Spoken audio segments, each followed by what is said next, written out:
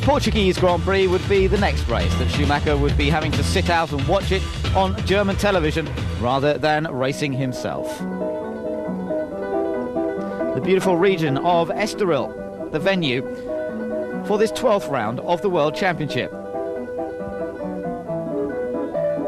The coastal town so near to one of the most beautiful small towns in Portugal, Cascais, one of the places where all the Formula One drivers enjoy to spend a little time relaxing before and after the race. Making a visit, as ever, to the Grand Prix racing, the 1993 champion, Alain Prost. We talked to him about his future in racing. He says perhaps to take over a team, I might consider it, but not under any conditions. In any case, the right opportunity to do that has not yet arisen. There are loads of things that a person like myself can do, and because of all the experience I have, I can enjoy acting as a consultant, giving advice to whoever wants it. But if I were to take over a team, my sole motivation would be to have a winning team, or at least a very competitive one. And at present, all the factors are not in place.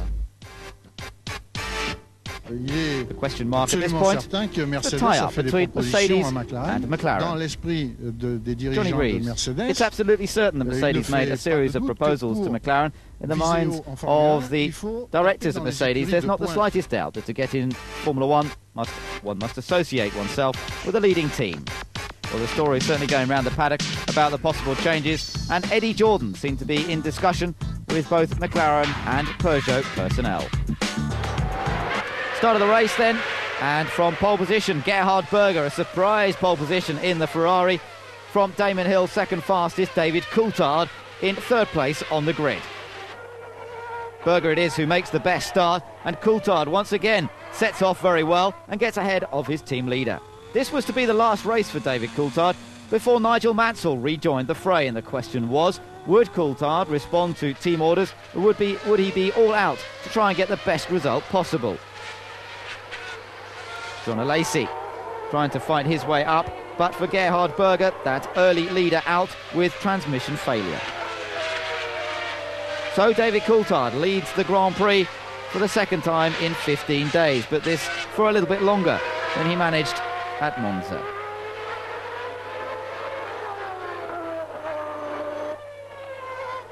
Behind, Hakkinen is in fourth place behind Jean Alesi.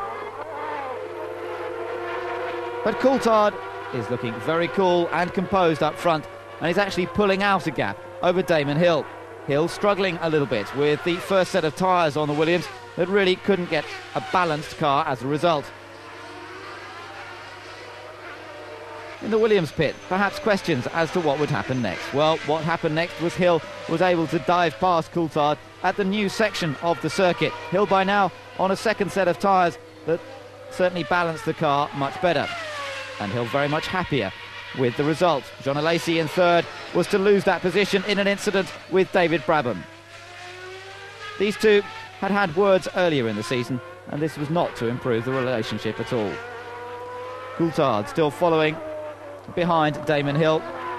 Mika Hakkinen in the McLaren Peugeot in third place, but with the news coming through for sure that he would be driving with Mercedes power the following year. Problems for JJ Lehto in the Benetton, and this would prove to be the last race for the Finnish driver with the Benetton team.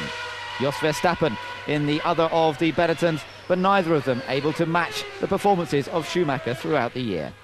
So at the finish, it's the first 1 2 for Williams since the French Grand Prix in 1993, and the first podium finish for David Coulthard, who knows that he's going to have to sit and watch as Nigel Mansell makes his return in the next few races. Brilliant performance from both of the Englishmen, and we spoke to Coulthard afterwards.